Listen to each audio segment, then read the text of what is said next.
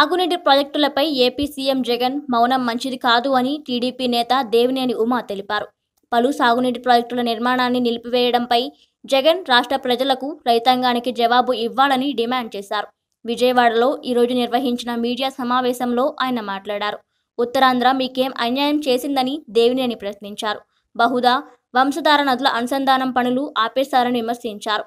Thotapalli project గురించి ఎందుకు మాట్లాడలేకపోయారు అంటూ ప్రశ్నించారు. ఉత్తరాంధ్ర తుజల స్రవంతి పనులు ఎందుకు ఆపేశారన్నారు? గోదావరి కృష్ణా నదుల అనుసంధానంపై ఎందుకు మాట్లాడలేదని ప్రశ్నించారు దేవినేని. ఇదే అంచనాలు ఇలా ఎందుకు పెంచారు? ఇలా అలా అని మీరు మాట్లాడిన మాటలన్నీ కూడా ఇవాళ ప్రజల ముందు ఉన్నాయి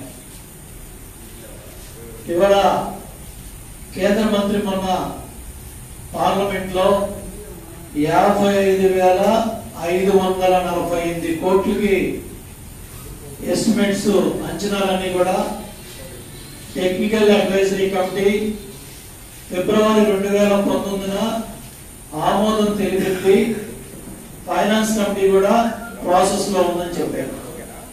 వాళ్ళ దగ్గర దగ్గర ముప్పై మూడు వేల నూట అరవై ఎనిమిది కోట్లు ఈరోజు ల్యాండ్ అక్విజిషన్ ఆర్ఎండ్ఆర్ కింద రెండు సంవత్సరాల కష్టం ఇది ముఖ్యమంత్రి చంద్రబాబు నాయుడు గారు దగ్గర దగ్గర డెబ్బై సార్లు పోలవరం ప్రాజెక్టు విజిట్ చేసి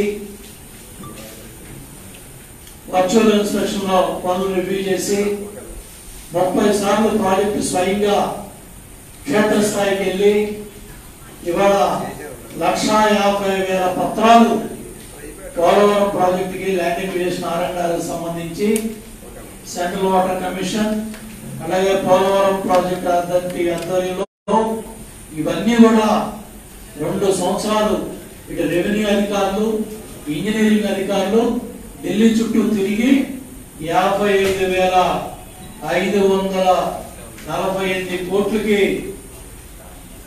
అంచనాలు ఆమోదిస్తే జగన్మోహన్ రెడ్డి గారి పత్రిక. ఈ విధంగా దీనికి జగన్మోహన్ రెడ్డి గారు ఈ రోజు రాష్ట్ర ప్రజలకు ఏ సమాధానం చెప్తారు?